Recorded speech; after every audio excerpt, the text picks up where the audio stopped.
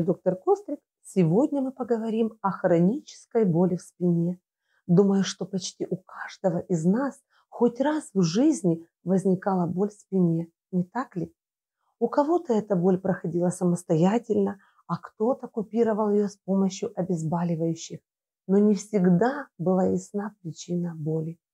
Давайте попробуем разобраться, какие же самые распространенные причины хронической боли в спине.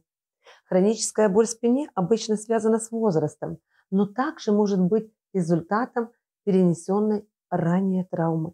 К наиболее частым причинам относятся артрит позвоночника. Это постепенное истончение хряща внутри позвоночника, стеноз позвоночного канала. Это сужение позвоночного канала, которое может привести к нервной боли. Проблемы с диском, такие как грыжа или выпуклость межпозвоночного диска. Миофасциальный болевой синдром – это хроническое патологическое состояние, обусловленное формированием локальных мышечных спазмов или уплотнений, представленных болевыми точками, триггерами. Боли могут провоцироваться нажатием на эти точки или движением мышц, вовлеченных в патологический процесс. Необъяснимая мышечная боль и болезненность. В некоторых случаях трудно определить причину хронической боли в спине. Если ваш доктор исчерпал все диагностические возможности, тогда пора обратиться за консультацией к специалисту по болям в спине. Важно не принимать поспешных решений и не проходить обширные медицинские процедуры, пока не будет обнаружена причина боли. Они не только не, помогут, не могут помочь, они могут усугубить эту боль. Если источник боли неизвестен или не поддается лечению, лучшим вариантом может быть работа с врачом над уменьшением обострений и устранением боли с помощью нехирургических методов лечения. К ним относятся физиотерапия, физические упражнения. Это основа лечения хронической боли в спине. Это один из первых методов лечения, который вы должны попробовать под руководством врача и физиотерапевта. Однако не всем подходит один и тот же комплекс упражнений. Упражнения должны быть адаптированы к вашим конкретным симптомам и состоянию. Выполнение физических упражнений дома также является большей частью успеха. Помните об этом. Физиотерапия при хронической боли в спине может включать повторные тренировки осанки, проверка пределов переносимости боли, упражнения на растяжку и гибкость, аэробные упражнения, медитация. Хроническая боль в спине утомляет как физически, так и эмоционально.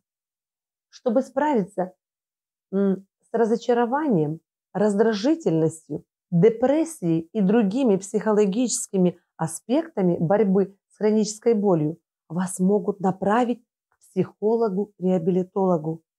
Этот специалист может порекомендовать медитацию, йогу, тайчи и другие когнитивные стратегии и стратегии расслабления, чтобы ваш разум не сосредотачивался на боли. Диета. Некоторые диеты вызывают сильные воспаления, особенно диеты с высоким содержанием трансжиров, рафинированного сахара и полуфабрикатов. Проконсультируйтесь со своим врачом, чтобы узнать, может ли ваша диета способствовать возникновению хронической боли в спине и как вы можете ее изменить. Поддержание здорового веса также может помочь уменьшить боль в спине за счет уменьшения нагрузки на позвоночник. Модификации образа жизни, например, когда у вас хроническая боль, важно принимать свои ограничения и адаптироваться. Прислушайтесь к своему телу и учитесь управлять темпами. Сделайте перерыв, пройдитесь небыстрым шагом возле дома минуточек 20 или просто совершите поход в магазин.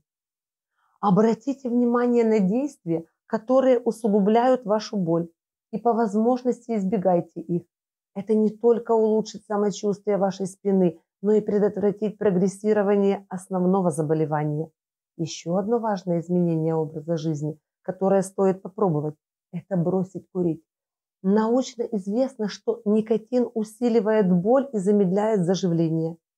Инъекционные процедуры включают блокады нервов, эпидуральные инъекции стероидов, абляция нервов и другие виды инъекционных процедур доступны при хронической боли в спине.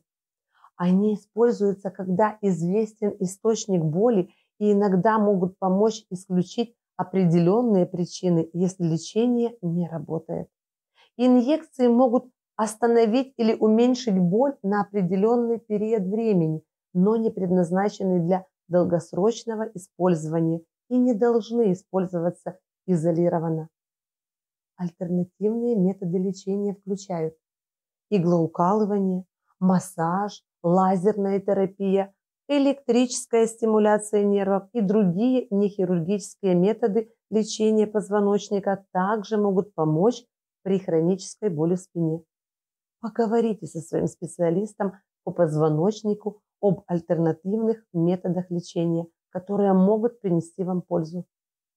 Фармакологические методы лечения включают анальгетики, противовоспалительные препараты, миорелаксанты и другие лекарства, которые могут быть использованы для облегчения хронической боли в спине. Однако большинство из них имеют нежелательные побочные эффекты и не предназначены для длительного использования. Опиоидные препараты обычно не следует использовать в качестве первого, единственного или длительного лечения хронической боли в спине. Многие из них вызывают привыкание и не устраняют основную причину вашей боли.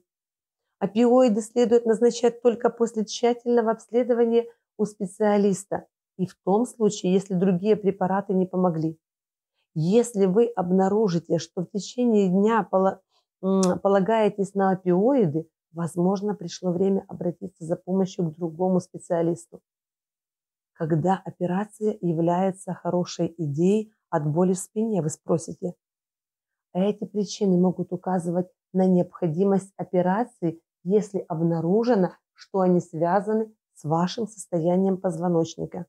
Например, новые или прогрессирующие проблемы с кишечником или мочевым пузырем, слабость в конечностях, проблемы с походкой, признаки повышенных рефлексов.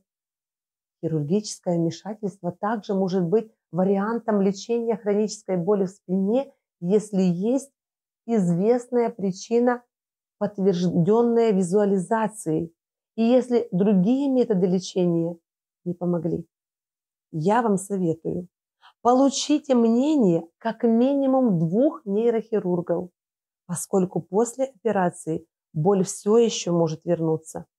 Будьте здоровы, берегите себя и своих близких. Не забываем комментировать и ставить лайки. Оставайтесь с нами и до новых встреч!